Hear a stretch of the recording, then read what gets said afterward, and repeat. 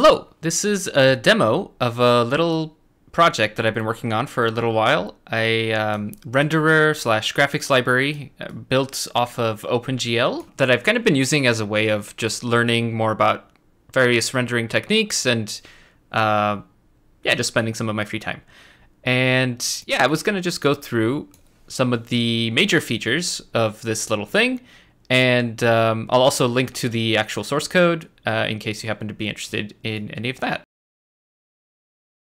To get started, this is the kind of main model renderer uh, that I've built as part of the app. It's It features most of the uh, systems that the library provides, but not all. Um, but uh, let's just start going through them, I guess. So uh, this UI over here is just built off of ImGUI, uh, which is a fantastic library with some extra plugins. Um, some basic things like rotation. Um, there's a light representation, which there will be more options about later that we can adjust here. Um, standard model scale, uh, nothing too big there. Good one. And uh, I'll go through some of the more boring things really quickly. Um, under performance, uh, pretty easily hitting 60 frames per second on with VSync enabled. Disabling that um, increases quite a bit. This is actually not very great at all, though, for us, you know, the the notorious damaged helmet model, uh, because it's largely the only thing being rendered. You know, besides all the other effects and post processing. Um, I have not spent any effort on performance, so that's to be expected.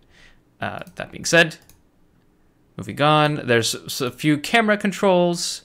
Uh, the default orbit controls are here, uh, which are useful for actually viewing a model. The There's also, uh, you know, free flying if desired. Um, orbit controls are good. And now into the meat of it, which is uh, the actual rendering features. So this is basically what I've been spending most of the time on, trying to uh, just implement various interesting um, rendering techniques. So the library does support um, kind of your typical uh, light formats, uh, directional point lights, and spotlights. Uh, this demo app only really just has the directional one, just because I haven't gotten around to implementing support for um, like controls for for the other light types, uh, like location, movement, and whatnot. But um, yeah, the directional one in general. Um, this is right now based on the a, a physically based Cook Torrance model. Um, you know, kind of behaves as you would expect for a directional light. Um, there's some shadow mapping happening, as you can probably tell, and pretty straightforward there. Uh, there's some emission lights, which this model uh, conveniently has in the form of the decals on the helmet. Um, increasing intensity there can lead to some cool effects. Um, and and then shadow mapping. So this is just a representation of the shadow map. Um, disabling it removes all the shadows. Uh, it's much more clear if you have any sort of geometry below the kind of main model um, to be able to, to see more of the shadow itself, but um, this reacts to the directions light as expected. The mechanism is extremely simple here. Uh, the it's in fact it's it's very inflexible at the moment, but um, it is it is doing a little bit of uh, percentage closer filtering uh, to just try to smooth out the edges a little bit, um, and uh, yeah, there's it could use a lot of work there, but that's that's the shadow aspect.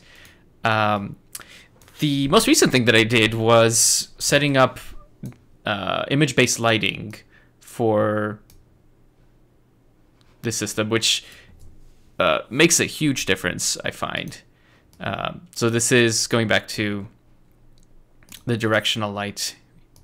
Um, when you remove basically all the ambient kind of calculations from the image-based lighting, this is what you are left with. Um, so IBL, the, the, IBL here is built off of the uh, kind of split sum approximation used by Unreal 4. um, which essentially takes the environment map. Uh, this is pretty pretty standard technique. Takes the environment map, um, which is HDR, an HDR image, and uh, splits it up into an irradiance map that it can cal- uh, calculate in, into into a cube map, uh, as well as a pre-filtered um, specular reflection uh, environment map with multiple MIP levels. And then it just at runtime combines these two sources to calculate the diffuse and specular components of the ambient light, uh, respectively. And uh, you get some neat effects. So this is when when I switched the skybox there, it performed the actual pre-filtering at runtime, um, just for convenience. Um, and yeah, you can get some neat effects here. Then there's uh, some screen space ambient occlusion that's happening. Um, this is the occlusion map that's being generated at runtime. Pretty basic, but uh, has a, a, has a neat subtle effect. Uh, this actual model happens to have its own occlusion maps in general, uh, and so the the the two values are essentially just being combined. Um, and then finally, some post processing effects. So there's Bloom, which is based on the uh, technique published by Call of Duty um, in a SIGGRAPH presentation. Uh, essentially just works by taking the HDR image uh, at the end of the, the render stage and downsampling and upsampling with specific kernels um, over several MIP levels um, and you get this like you know amplification effect. And then you can choose the the mix factor here. Uh, it gets very very bright. Uh, you know if you take more than a little bit, but it can have a very nice effect otherwise. And just various tone mapping uh, functions. The you know the classics, uh, Reinhard, ACES, and uh, there's an AMD one that is pretty interesting. Um,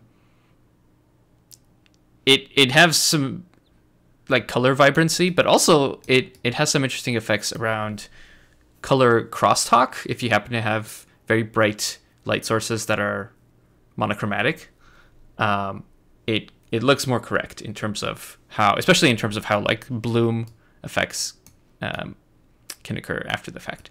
And then this is a deferred shader, uh, just uh, as, as, again as part of the practice around uh, playing around with this library. And so, unfortunately, one you know downside of deferred shading is it's you know simple anti-aliasing becomes significantly harder. Um, and so, like up here, you can tell there's a little bit of aliasing happening. Um, so the engine does have some FXAA support uh, very basic, very very easy post process effect that kind of smudges things out a little bit and improves the overall look.